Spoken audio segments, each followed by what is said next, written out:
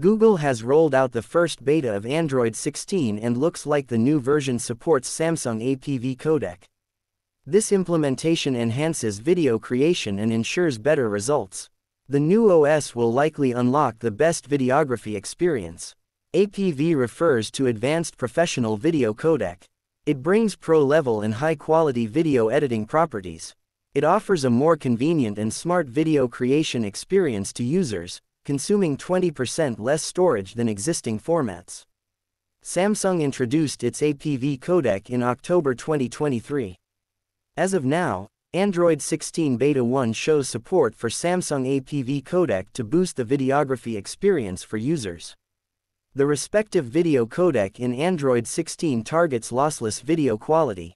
It also supports several chroma sampling formats, multi-view video and auxiliary clips, HDR 10 out of 10 plus, user-defined metadata, and many other traits to make your videos stunning. Inputs reveal that Android 16 will support APV 422 to 10 profile that is capable of YUV 422 color sampling, 10-bit encoding, and other video-related characteristics. Google further mentioned that APV codec provides excellent video quality in all aspects.